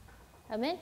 Тэгээ цаашаа бид нэр сүнсний чадамжуудын талаар илүү сайн гүн ойлголттой болно. Харин бидэнд өгөгдсөн байгаа оюуны чадамжуудаа бид нэр сайжруулах нь зан чанарынхаа хувьд бид нар маш тийм зөв болгосон болох хэрэгтэй ахын. Тийм хүмүүсийг бид нар бурханд бүх өгөөд Монгол улсад хэрэгтэй гэдгийг ойлгох хэрэгтэй. За тэгээд бурхнаас зөв дагахад энэ засаглалын гинжин холбоо гэж байгаа. Бурхан тогтоолоо уншлаа. Бурхан тэр тушаалаа хэллээ. Тэр тушаалаас зөрчсөн хэн нэгэн байхан бол бурхан түүнийг таалдаг. Яг л бидний хувь тавилан нэг байгаа. Хувь тавилан гэдэг нь бидний хувь тавилан боловч бурхан өөрийн үгээ биелүүлж байгаа. Тэр хувь тавилан дотор алхаж байгаа нэгэн. Тэ мэ? Энэ бол аль хэдийн ялалтынх нь тэр хувь тавилангийн алхаа байгаа. Харин түүнд тушаалаа өгсөн байхад тушаалаас зөрчиж удирдлагын удирдлагын тушаалаас зөрчих юм уу тэр зүйлсүүд бурхан таашаадаг байна. Энэ нь болохоор тэр бидний зангидсан холбоо шиг юм гинжин холбоос байгаа шүү дээ тий. Тэр гинжин холбоос дотор яадаг вэ гэхээр бид нар яг нэг болон тэр тушаал дотор яг л нэг зэрэг шиг хариу үйлдэл үзүүлэх ёстой байх нь шүү дээ. Тушаалыг зөрчснөөр бурхан бол Авраамийн жишээд би заримдаа боддог байхгүй юу? Авраамд бол бурхан өөрийнхөө биенээс нь төрсэн хүүг өгнөө гэж хэлсэн байдаг шүү дээ, тий? Тэгээ Исаак төрсөн шүү дээ, тий? Исаакаас өмнө яалаа? Ишмэл хүн төрсөн шүү дээ, тий? Хүн бол заримдаа ингэж яах вэ? төвчээргүйгээс олж тушаалыг зөрчдөг байхгүй юу? Түүний дагуу бурхан 13 жил Авраамтай юм яриаггүй шүү дээ, тийм ээ? Яг ингээд уулзаагүй. Тэр үедээ Авраам 13 жилийн дараа гарч ирэхэд Авраам шууд ингээд хитсэн байхгүй. Тэрнээс өмнө бурхантай ингээд нүүр нүрээ хараад ярьжсэн бол 13 жилийн дараа тэр тэр их гимшил дотроо тэр их зүйл дотроо яасан байна. Ингээл э, би буруу зүйл хийсэн юм байна гэдгийг мэддэг байхгүй юу. Тэгээд яасан. Ингээд бурхны өмнө сүгдрөө сүгдсэн байгаа. Тэгтээ тэр нь бурхны тушаалыг э, бурхан нэгүүлсэнгүй харж ин тийм ээ. Үгийнхаа гүйцэтгэлийг заавалчгүй биелүүлнэ гэсэн утгаараа Авраамыг үргэлжлүүлээл амсан хүүгээ төрүүлж аваад цаашаа үргэлжлүүлээд явсан. Үүгээрээ бид нэр үргэлж бурхан өөрийнхөө үгийг баталгаад баталдаг бөгөөд үргэлж түүний үгэнд биелдэг гэдгийг харах хардаг. Амен. За тэгэхээр энэ гинжин гинжин тушаал тогтоол дотор хамтдаа байх нэ. Ингээд хамгийн сүүлд нь хувь тавилангийнхаа дагуу алхаж явахад бурхан биднийг амаараа тунхаглаад юуг бид нэр мөршгөж байгаа нь ил болж гарч ирэхэд хамтрагчдыг бурхан бэлгэнэ. Өөрөөр хэлбэл бидний гэр бүлийн гишүүдийг эргэн тойрон найз нөхдөдөө бурханы ялагчгүй тэр хувь тамиллан руу хамтдаа алхахыг бид санал болгодог. Ойлгож байна те? Бид санал болгодог. Тэгээд түүнийгэрийг удирдахч нартаа сүмч болгон лууга бурхан руу дагуулж ирдэг байна. Өөрөөр хэлбэл а эхлээд бид хувь тавилангаа хүлээн авдаг байсан бол дараа нь бид нар хувь тавилан руу хүмүүсийг хөтлөн оруулдаг байна. Тийм байгааз? Тэгэхээр бид энэ процессыг эхэлдэг байна. Эхлээд бид нар хувь тавилангаа алхан орж тэр дотор байр сууриа зөв эзэлж хувь тавилан хүлээн авсан бол дараа нь хувь тавилангийн хүмүүсийг хувь тавилан руу оруулж эхэлдэг байна.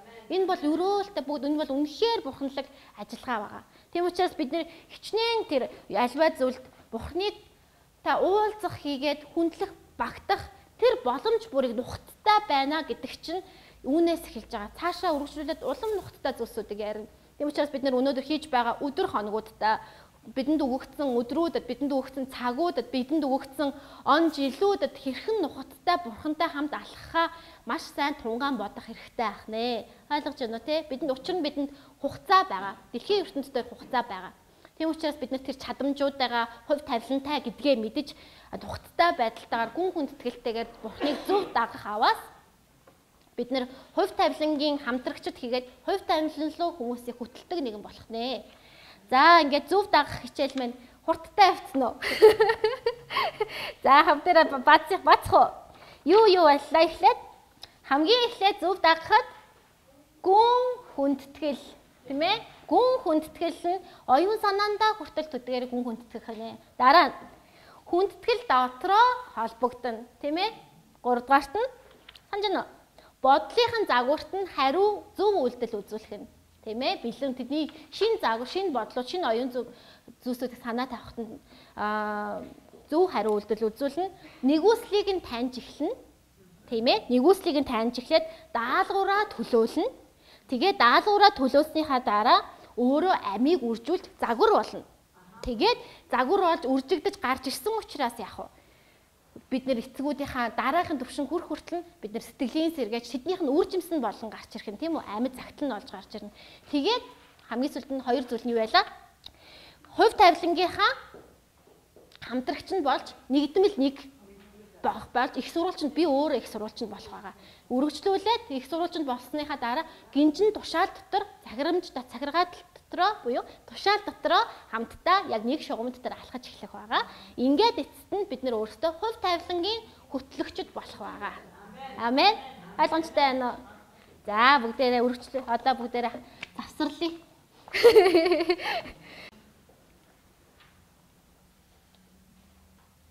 Зүгээр өстэй. Зүгээр аа тий. Аха. За.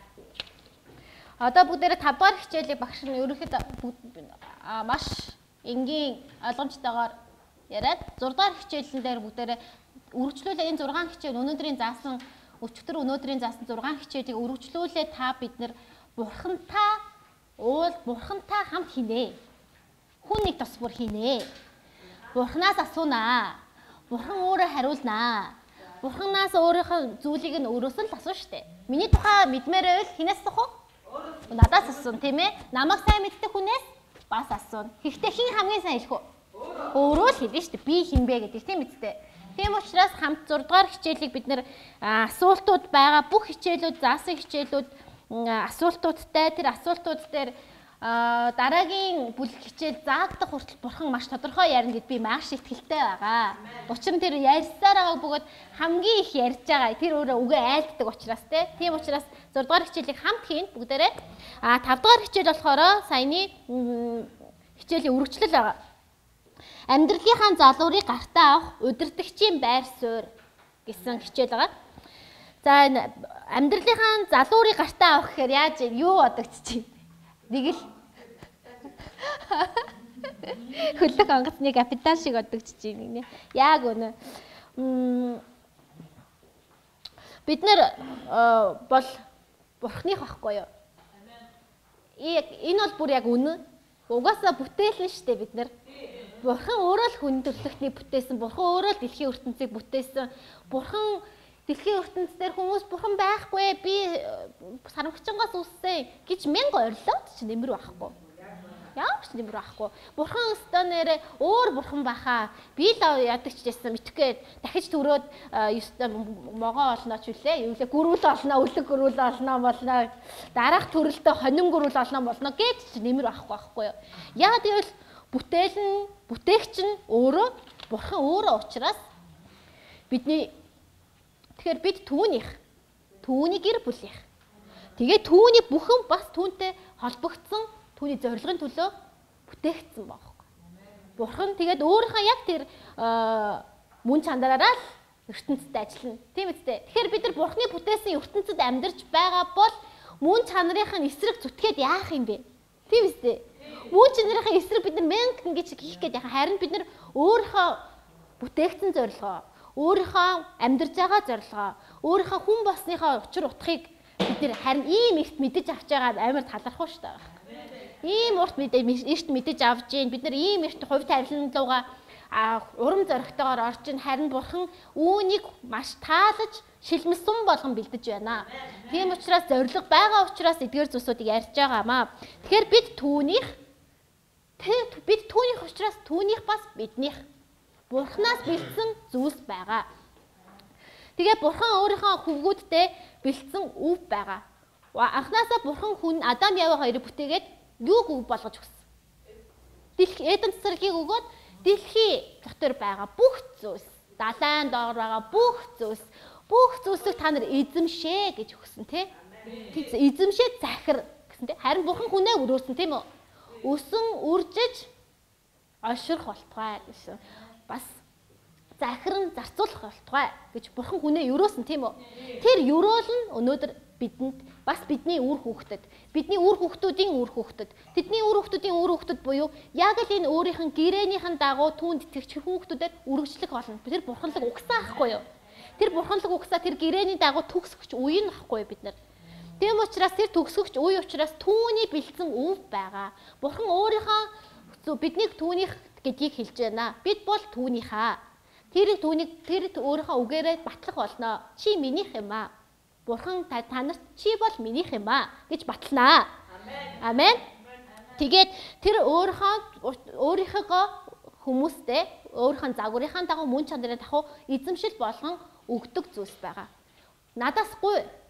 Тэгвэл бид үндэстнүүдийг чамд өв болгон өгнө гэж хэлж байгаа. Бурхан өөрөө агуу учраас үндэстнүүдийг өв болгон өгнө гэж хэлж байгаа. Тийм үстэй. Бүтээгч нь тэгэн штэ. Одоо жишээлбэл дөрвөн хүүхэдтэй надад дөрвөн компани байлаа гэж бодъё. Би өөр миний эзэмшлих. Би тэр компаниа яг уу дөрөв хүүхэдтэй л чи энэ компани цагрын хариуцж чадна. Чи энэ хэсгийг нь ажил, чи энэ удирдлагын энэ хэсгийг нь ажиллана. Чи энэ манай уул уурхааг нь ажилуулах болно. Чи энийг өвлүүлээд өгнө үсттэй. Тэгэн штэ тий. Тэгвэл бурхан энэ дэлхийн ертөнцийг бүтээсэн бол үндэстнүүдийг өв болгон хүүхдүүдтэй өгнө гэж хэлж байгаа. Амен.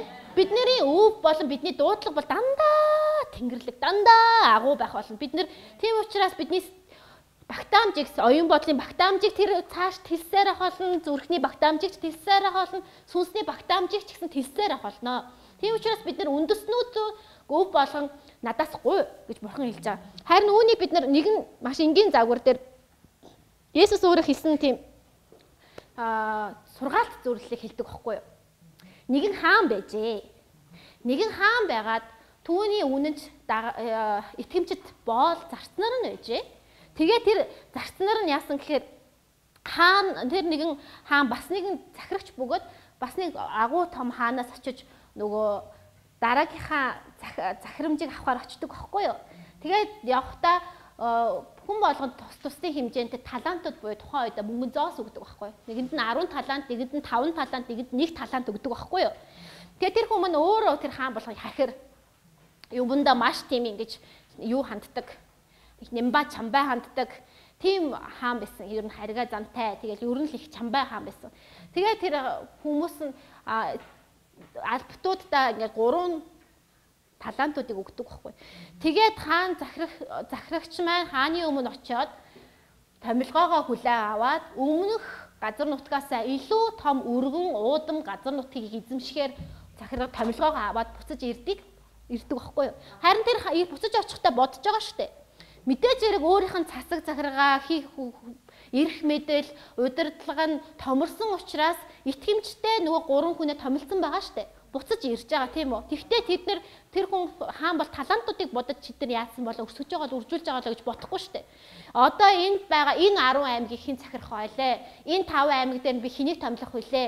Тэрэн дээр нь хэнийг томилох вүлээ гэж дандаа удирдлагын бага бодоод явж харж ирж байгаа штэ мэдтэй хаан учраас захирагч болсон учраас Тэгээд эрэхт нь нөгөө гурван альбт нь ирдэг байхгүй захирчийнхаа урд. Тэгээ хэлдэг байгаа нөгөө 10 талаанд авсан нь өсгөн үржүүлээд худалдаа 8 хийгээд за таны өгсөн талаанд чи энэ байна. Би ийм 20 олголоо. 5 талаанд өгснүүд нь би таны ажиллагаа өгсөн 5 талаад тавьдаг худалдаа хийгээ зах дээр тэгээд 10 болголоо. Гэтэл нөгөө нэг талаанд авсан нь яасан гэхээр таныг аймар хахир ёо би энэ байгаа нэг таланттай за энэ нэг талантыг нь болохгүй энэ тавтаа өгсөндөө өөрийгөө харьцуулсан ч юм уу би сайн мэдэхгүй. Харьцуулсан ч юм уу яаж энэ нэг талантыг тав болгоно? Яаж арга бол одоо тэгээ тав болгоогүй гэдэг намайг станаар алаа ичнаа. Одоо яад юм бэлээ? Ядаж нэгийг нь бүтэн байлгажаа гэд хадгалаад тэгээ үзүү өгдөг байхгүй буцаад би нэг тийг талант тийг э, чин нэг талантаар нь хадгалсаар агаал таньдтай яг бүрэн бүтэн өглөө шүү. Таныг чи амар хахир хятуу ёо хэрэг ичих юм болоо гэж бодоод гэл бодол өгсөн. Гэтэ тэгж ингэж ярихгүй л ахал та. Таны нэг талантыг ингээ буцаагаад өглөө газарт булсаар агаал гэд хэлсэн баг. Тэ? За энэ жишээг хэлэхэд та нар мэдэж байна зарим нь түүхийг. Захирагч нь юу гэж хэллээ? Тэр захирагч нь итгэмжгүй муу боол минь ээ. Чи намайг хахир хатуу гэдгийг мэдсэн бол үүнийг банкнд хийгээд ядаж хүүгээ хүүхийг авахгүй яасан бэ?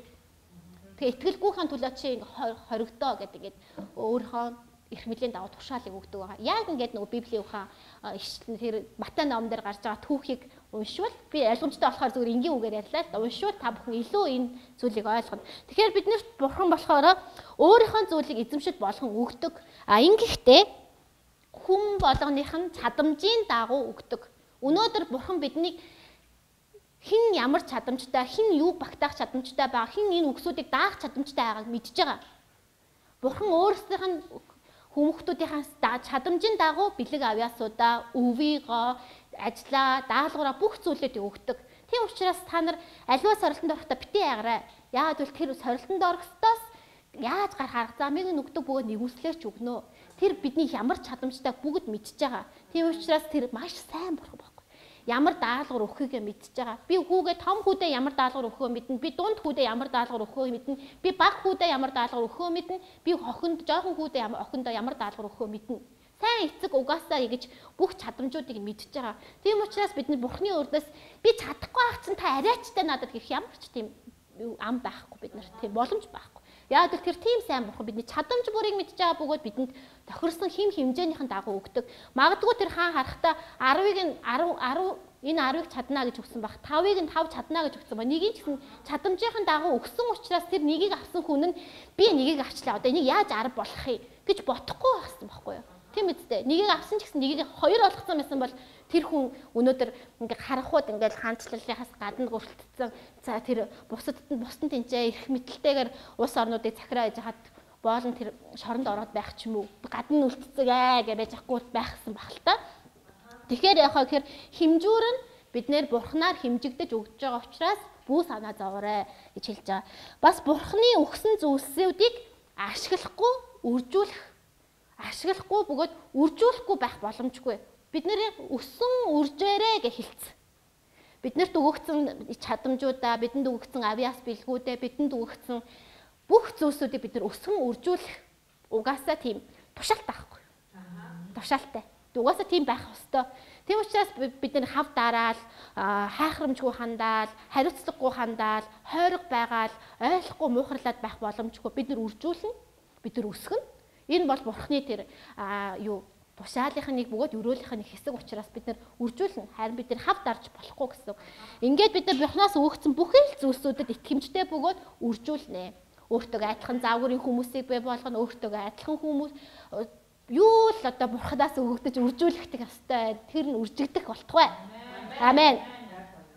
За тэгээд бурхан өгсөн тэр бүхэл тэр сүнслэг бэлэг авьяасууд оюуны бэлэг авьяасууд, бүхий л чадамжууд, бүхий л амар тайван хайр, бүх бидэнд байгаа бүх зүйл, сурлага, сахилга бат, найз нөхөд бурхан өнөөдөр бидэнд өгөгдсөн тэр бүх хэмжүүр маань яадаг вэ гэхээр тэдгээрийг бас итгэмжтэйгээ тавтамжтайгаар тасгалжуулснараа ирээдүйнхаа хувь тавилангийнхаа тэнцээ тамга дараа явж идэх байхгүй.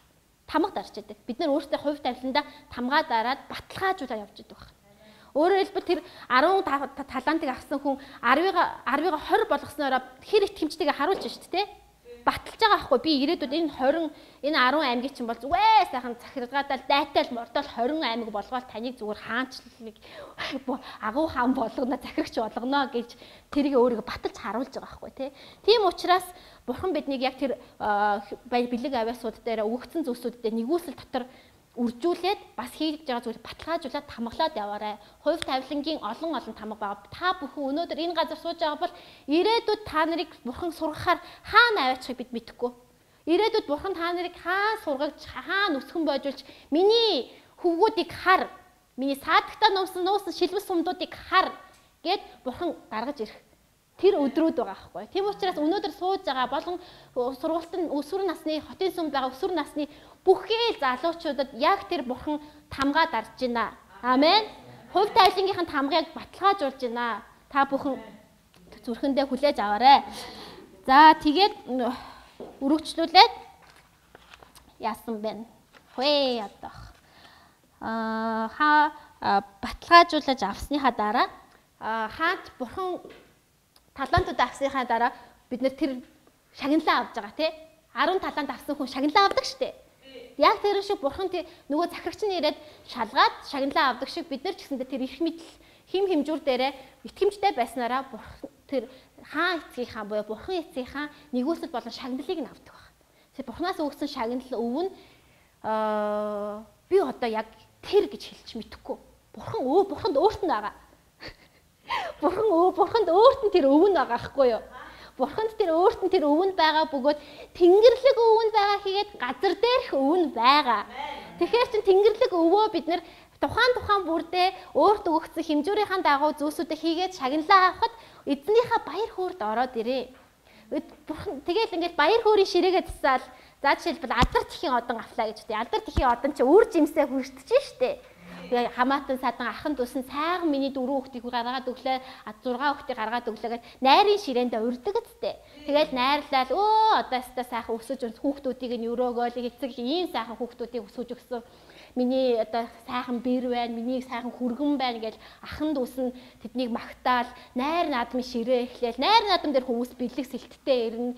Бас тэднэрт найр наадам дээр баяр хөөр балхдаг, найр наадам дээр хүмүүсийн ад жаргал нэмэгддэг. Тэндээс маш сайхан тэр найрын ширээ эргэж бэлэг гэсэлт өгдөгтэй адилхан бид нэр хувь тавилангийнхаа цар хэмжээнд дотор өгцөн хэмжүүр дотор доо итгэмжтэй байснараа бурхныхаа болон ахан дүүсийнхаа тэр найрын ширээнд бурхны найрын ширээнээр суудаг байхгүй. Тэгээд түүнээсээ шагналаа авдаг. Тэгээд бид нар яг тэр шагналыг хүрдэж авдаг бөгөөд бас бас нэг зүйлийг мэдэх хэрэгтэй. Хариуцлага тооцох өдөр байгаа. Тэгээ хариуцлага тооцох өдөр байгаа эцтэй. Хаан захирагч ирлээ. За юу болсон? Миний өгсөн зүйлс юу болсон? Гэл хариуцлага тооцох өдөр ирж байгаатай адилхан бид нар өгсөн зүйлсүүдэд итгэмжтэй байх болно. Амен. Бид нэрээ өгсөн зүйлсүүдэд итгэмжтэй байх бөгөөд хариуцлага тооцсон өдрөө 10 талант аваад 10 газрыг захирсан эзэн шиг байх болно. За ингээд амьдралын энэ хичээл маань ерөөхдөө ингээд дуусж байгаа амьдралын залуурыг гартаа авах удирдгчийн байр суурь гэдэг хичээлэн дээр энэ бид нэр үргэлжлүүлээд э, сайн хараад асуугаад явах юм бол энэ талант буюу яг бидэнд өгөгдсөн байгаа тэр юунуудын талаар бэлэг авьяас болон хувь тавилангийн талаар өвүүдийн тухай ярьсан байгааг харах болно. За одоо 6 дахь хичээлийг бид нар яаж хийх хэрэгтэй вэ гэхээр 6 дахь хичээлээ хардаа хамт уншина. Яагад гэвэл хамт уншаад амаараа тунхаглаж сурахад бид нар суралцсан аа би багш хэлэхээс нааш би ойлгохгүй байна гэдэг хязгааруудыг эвдэн ганцаараа суугаад унших болон бас хүмүүстэй хамтарч хийхэд бол энэ биднийхээ хийж байгаа сургалтынхаа материалтай танилцах үүднээс 6 дахь хичээлийг бүгдээрээ хамт хамт уншаад явна. Ойлгосноо? За бүгдээрээ хичээлдээ оръё. Үлгэр жишээ болсон гэд хамтдаа уншаад 1 2 3 и үлгэр жишээ болсон ил тод амьдрал. За нэгдүгээрт нь гол үнэт зүйлсийн талаар бодлын загвар тэдний бодлын загвар бүгдэд илэрхий байдаг. Гол итгэл үнэмшлийн тогтолцоо нь эргэн тойрны хүмүүс үргэлж илэрхийлэгдэж харагддаг. Тэдний хувьд ямар ч завсрын төвийг баримталсан эвлэрдэг сэтгэлгээ байхгүй Бид өөрсдийн үнэт зүйлсийг баттай таних түүнд үл нийцэх зүйлстэй эвлэршгүй байх ёстой. Нэгдүгээр асуулт. Таны амьдралын гол үнэт зүйлс юу вэ? За, хоёрдугаар асуулт нь Бурхны хаанчлалын гол үнэт зүйлс юу вэ? Гуравдугаар асуулт нь Та Бурхны хаанчлалын гол үнэт зүйлсийг баримтлан амьдрахын тулд ямар бодлын загваруудыг өөрчлөх шаардлагатай байна вэ? За нэг 2 секунд бодож агаад хамсгаа авч агаад. За энэ асуулт байна те. Бодлын загвар гэдэг хэм маяг байна. За хоёрдугаар хэсэгчлээ уншия. Шулуун шудраг ил тод амьдралын хэв маяг. Тэд хүмүүсийн өмнө хоёр нүур гарган амьдрдаггүй. Хоёр амьдралаар амьдрдаггүй. Хоёр нүур гарган жинхэнэ дүр төрхөө нуудаггүй. Тэд Бурхны өмнө цэвэр мэс чанартай харин хүмүүсийн өмнө хүндэтгэлтэй амьдрдаг. Тэдний амьдрал нээлттэй ном айдал байдаг тул хүмүүс уншиж чаддаг. За асуулт. Та шулуун шудраг амьдрахын тулд хэрхэн алхах ёстой вэ? За 3 дугаар асуултаа уншъя. Тэргүүний чухал зүйлсийн төлөө халуун зүтгэл гаргадаг. Тэдний амьдралаа нэн чухал тэргүүний зүйлсийг мушгиж тэдгээрийг гүйцэлдүүлэхийн тулд халуун хүсэл тэмүүлэл бүрэн хичээл зүтгэлтэйгээр зориулдаг. Тэд өчүүхэн хэрэггүй зүйлийн төлөө наймаалцаж хамааралгүй асуудлуудад цаг өрдөггүй. Тэдний хамгийн их хүсэл тэмүүлэл бол өгөгдсөн даалгаврыг гүйцэтгэж замаа дуусгах юм. Таны амьдралын тэргүүний чухал зүйлс юу вэ? Бурханаас танд өгөгдсөн даалгавар юу вэ? Та нэн тэргүүний зүйлсийн төлөө халуун хүсэл зүтгэлээ хэрхэн асаадаг вэ? Дөрөвдүгээрт нь тех чадвар глобал удирдагчид Бурхны шин үгийг сонсох гэж мөнхийн улсад хүрдэг. Тэд хаан сентинээс урсах илчлэлтийн урсгалд нэвтэрдэг тул Бурхны мөнхийн улсаас хийж хийж байгаа зүйлсийг мэддэг. Тэд Бурхнаас удирдамж хүлээн авахыг сонгон хүмүүсийг Бурхны төлөвлөгөө болон зорилгын дагуу удирдан чиглүүлдэг. Тэд Бурхны зөвлөгөө нэг бүрийг ашигтай хэмээн үзэж түүний дагуу үйлддэг. Тэд өөрийг нь барьж байгуулсан өв рүү урагшлах аялыг түргсэгдэг ногоон бэлчээр буюу нэгүслийн үг рүү хөтлөгддөг. Та тех чадвараа хэрхэн өсгөх вэ? Та сүлд Бурханаас ямар удирдамж хүлээн авсан бэ? За өөрийгөө бодлогүй золиос гаргагчд Бурхны өгсөн даалгавар буюу замаа дуусгахад нь тэднийг юу ч зогсоож чадахгүй. Тэд зөвхт байдал ба хаанчлалын тэлэлтийн төлөө зовлон эдлхийж бэлэн хүмүүс нулимс шүүлт сорилж тэднийг зогсоож чадахгүй. Тэд мөнхөд улс дахь шагналаа хэдийнэ харсан тул түүний төлөө ямар ч өндөр үнийг төлөхөд бэлэн болсон байдаг. Тэд амьдралынх нь ямар ч хэсэг бурхан бүрэн дуулууртай байхаас татгалцахад хүргэх ёсгүй гэж үздэг. Хаанчлалын төлөө золиос болгон өгч чадахгүй зүйл гэж тэдэнд үгүй. Асуултууд та даалгавраа гүйцэлдүүлэхийн тулд цаг хугацаа, мөнгө болон авьяас чадварын ямар зориулалт гаргахыг хүсэж байна вэ? Золиослох ба бүрэн өгөх хоёрын ялгаа юу вэ? Таныг ямар шагнал хүлээж байгааг та харсан бэ? Зур бусын итгэл тэд ялан дэлхийн хүчийг мэддэг бөгөөд бүх нөхцөл байдал бүрээгээ үлэн гарч ирдэг. Тэд ямар ч хязгаарлалтанд баригдаж унахыг зөвшөөрдөггүй. Тэд ариун сүнсний шалгуурыг хүлээн авснаар хувийн хязгаарлалтуудаа эвддэг. Тэд өөрсдийн гараар шаргуу хөдөлмөрснөөр санхүүгийн хязгаарлалтуудыг нурааж чаддаг. Тэд зөвхөн өөрийн хэрэгцээг хангаад зогсохгүй, өөртөөгөө хамт байгчдыгч хангадаг. Бурхан Паул Эфес дэх сүмийн дараагийн төвшөнд гаргах даалгавар өгөгдсөн. Хэдийгээр түүнийг явхад сүмд чон шургалсан ч тэр сүмийг Бурханы нэгүслийн үгийн өмнө авчирснаар босгон байгуулж хувь тавилангийн өвөө хүлээн авах суурь суурь хүргэсэн. Асуултууд та даван дуулах хүчийг хэрхэн хүлээн авдаг вэ? Таныг ямар хязгаарлалтууд доош дарж байна вэ? Ариун сүнс таны өмнө ямар шалгуурыг тавьж байна вэ? Эхний хүмүүсийг хамгаалахдаа юунаас ч айдаггүй. Удирдахчид зөвхөн зааж номлохын тулд байдаггүй.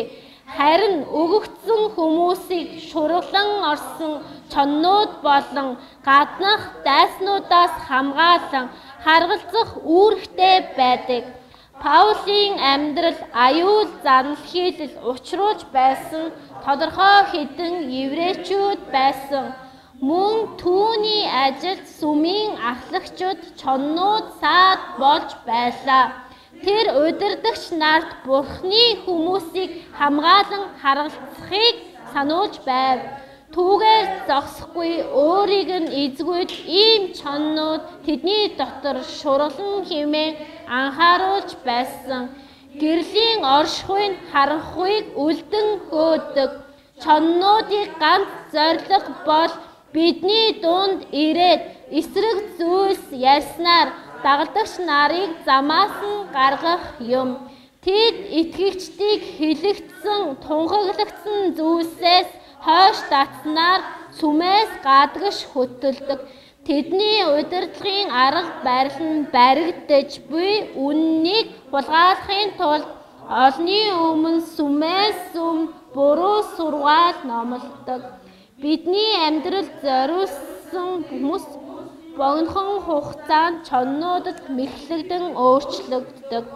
Та Бурхны хүмүүсийг хэрхэн хамгаалах вэ? Чон ямар байдаг вэ? Та чоннуудыг хэрхэн дүрслэх вэ? Сүнсний удирдлагад өөрийгөө бүрэн өгсөн. Глобал удирдагчид ариун сүнс дотор амьдардаг. Тэгснээр юр бусын сүнслэг орчинд амьдран гэсэн үг. Паул сүнслэг хэмжүүр дотор алхаж ам ба илчлэлтийн урсгалыг цаг үргэлж ундааж байсан. Тэдгээр илчлэлтүүд чиглүүлэг болон сүнсний ирч түүнийг дайсны төлөвлөгөөнөөс олон алхмын өмнө алхахад тусалдаг. Хэдийгээр тэр ирээдүйн талаар бүхнийг мэддэггүй байсан ч ариун сүнс түүнийг үргэлж хүчрхэгжүүлэн замаа дуусгахад нь түлхэн гэдгийг баттаа мэддэг байв. Тэр мөн ариун сүнс Бурхны сүмийг хамгаалж хүмүүсийг харгалзах сүмийн харгалзагчдыг сонгодог гэдгийг ойлгосон нэгэн байлаа. Ариун сүнс бууж ирэхэд Бурхны хүсэл биелдэг гэдгийг ч ойлгодог байжээ. Ариун сүнс биднийг удирдан бүгдийн дундуур авч явдаг. Глобал удирдахч ариун сүнсийг удирдахчаа болгосон байдаг.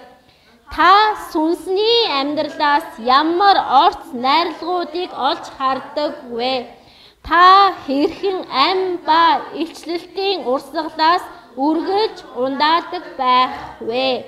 Та хэрхэн боддоор ариун сүнсэнд өөрийгөө тавьж өгч чадах вэ? Таны амьдралын ямар хэсэг ариун сүнсэнд бүрэн өгөгдөх шаардлагатай байна вэ? Юсхогийн хязгаарламж байдал ба хориг саадыг цөмлөх глобал удирдагчид санхүүгийн хэрэгцээгээр хязгаарлагдах ёсгүй мөнгөний хайраас чөлөөлөгдөж энэ салбарыг сайн удирдан захирч сурах хэрэгтэй. Ата хорсон шунал ба ядуурлын сүнс бидний амьдралын хэв маягийг бохирдуулах ёсгүй юм. Бид энэ дэлхийн үхэн хатан эрэлхийлдэг тэр зүйлс дэлхийн баялагт хууртахаас ангид амьдрах ёстой юм. Бидэнд баялаг бүтээх хүчийг олж авахд туслах стратегийг нээн илрүүлэх хэрэгтэй. Паул өөрийн хэрэгцээг хангах арга замыг олсон байсан юм. Тэгээ зогсохгүй өөртөө хамт байсан бусдын хэрэгцээнд үйлчлдэг байлаа. Ийм хязгаарлалтыг цөмлөхөд заавал хүнд байдалд ордог.